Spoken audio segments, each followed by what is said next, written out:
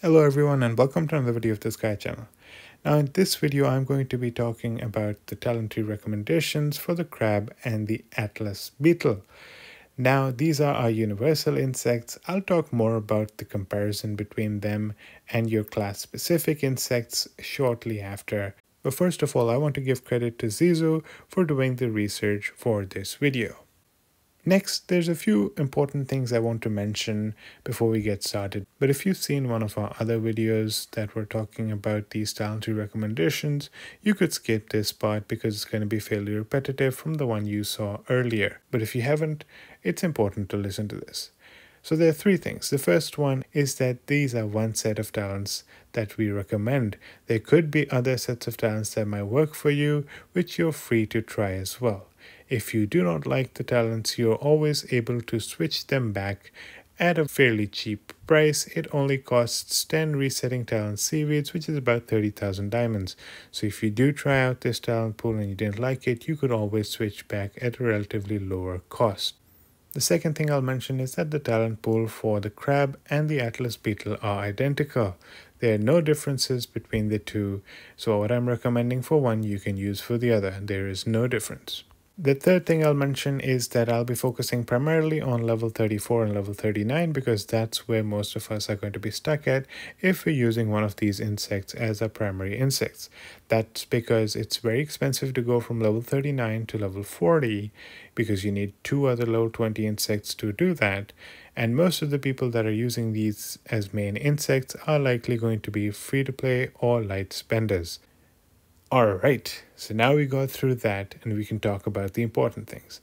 So the first question that a lot of people have been asking is, should I use a universal insect as opposed to a class specific insect? And the answer is it depends. What do you want to focus on? If you want to be amazing at the pangolin, then probably the universal insect is going to be extremely helpful for you. However, if your focus is PvP, that's where it gets a little tricky because the universal insects lack a very important stat that is combat speed. So I've explained before that combat speed is extremely helpful. It is a game changer in PvP, especially if you are not extremely bulked up in health. However, the universal insects do give you a very unique design that you could use, and that is guardian shooter shooter, which means the first row you can use as guardians, and the second and third rows you can use as shooters. Now, shooters are obviously high attack, and guardians are, as the name suggests, they are more defense focused, so they have a lot of defense and a lot of health. So, if you want, you could definitely try that if you want to use a universal insect because that allows you to get buffs on both guardians and shooters so you can leave the heavy hitters in the last two rows and the first row can be guardians. So, in other words, if you want to be a pure shooter, probably not the best idea to use a universal insect. But again, if you want to be very big in on the pangolin damage, maybe Universal Insect is good for you. And if you want to do Guardian Shooter Shooter, then you do need a Universal Insect because a Shooter Insect is only going to give the buff to the last two rows, and your first row of Guardian is not going to get any buff if you use a pure Shooter Insect. So that probably answers some of your questions. Now, one thing I do want to mention is that if you're using Guardian Shooter Shooter, that is fairly expensive in terms of evolution because let's say you're trying to unlock T10, you'll have to focus on one of them ideally before you start focusing on the other. So you likely have one of them as T9 and the other as T10, uh, and then it's going to take a long time for you to get the other T10. So that's that's a note to keep in mind. Okay, so I think that covers uh, most of the questions that I've been getting. Now we can get to the actual recommendations. So I'm going to break this down into level 34 and level 39. There will be some overlap between the two, and I do suggest that you watch the level 34 one as well as the level 39 one because I'm probably not going to repeat everything I mentioned in the level 34 again in level 39 because there's only going to be a few differences. Okay, So level 34. What do we get at level 34? At level 34, we have 48 talents to choose from. So where do we want to use these 48 talents? Well, skill attack is something that I always find to be extremely helpful, so that's something we should target as the first thing. So we make our way towards a skill attack. First thing we get right here is 6% defense. And then we move to the next one, we get 12% attack. We move forward again, we get this buff that allows us to reduce all damage taken by 6%. And of course, I'm talking max level effects. The next one we're getting is 16% attack. And then finally, we're getting 15% skill attack. Skill attack is very helpful. It increases the damage that your special ants do significantly more than regular attack does. So definitely a very good investment. So far we have used 24 talents out of the 48 that we have at level 34. This means we still have 24 more to choose from. Now after the skill attack, I think one of the most important stats, especially in PvP, is health.